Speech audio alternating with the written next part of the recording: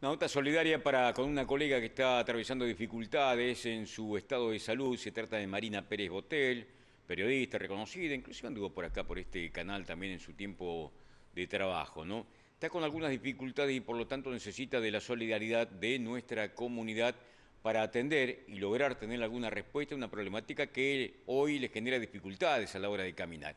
Ella misma explicaba su problema y además este pedido que hacemos absolutamente a todos los vecinos de la ciudad.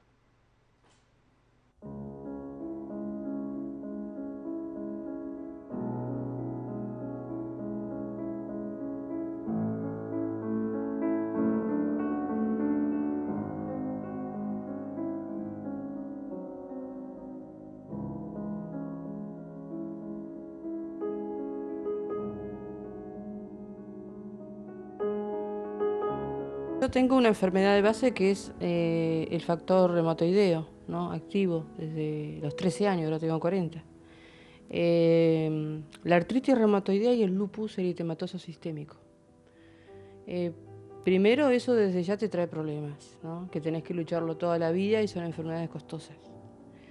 Lo que no me esperaba era que se produjeran, bueno, cinco hernias de disco, adherencias que se formaron eh, que están presionando el canal medular y que eso es lo que produce semejantes dolores que vengo ya tratándolos desde hace un año y medio, eh, hasta llegar a este punto de una necesidad de ser intervenida para poder caminar, porque realmente una persona joven que esté en silla de ruedas no, no es lo ideal. Yo tengo otro sueño para mi vida, ¿no? Mi hija eh, siempre ha sido activa y bueno, sinceramente ahora eh, tengo que agradecer porque también se dio la ayuda.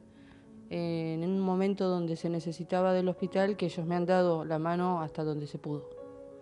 Pero ahora llegó otra ayuda que tengo que agradecer. Eh, tenés un profesional que justamente ha tenido un gesto terrible y es poder intervenirte, ¿no? De manera, sin cobrarte nada. La verdad que sí, la verdad que sí, porque eh, por circunstancias de la vida, ¿no? Eh, muchos trabajamos y no tenemos obra social o no la activamos o lo que fuera, ¿no? Y el doctor Roberto Sabino, que es especialista en dolor, eh, ha tenido este gesto solidario realmente que hay que agradecer. Y después estaba dónde se hace la intervención. Y la verdad que ahí agradezco al doctor Juan Gabriel Seleme, que ha puesto a disposición la clínica del Valle así que se va a poder hacer lo antes posible. Eso, eso me da mucha esperanza, porque debo decirte que uno con este tipo de enfermedades, cuando sos joven y quedas así postrada, eh, te deprimís mucho. Pero este, cuando vas encontrando soluciones así, decís, bueno, realmente hay que salir adelante, hay que lucharla. ¿no?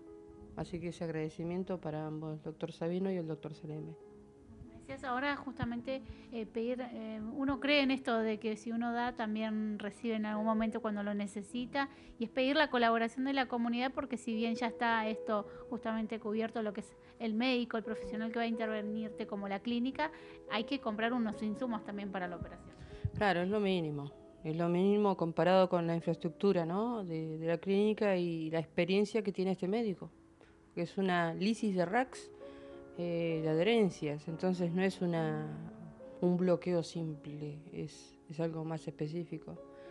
Eh, sí, está el número de cuenta para los que quieran colaborar, porque después supongo que viene una etapa de rehabilitación.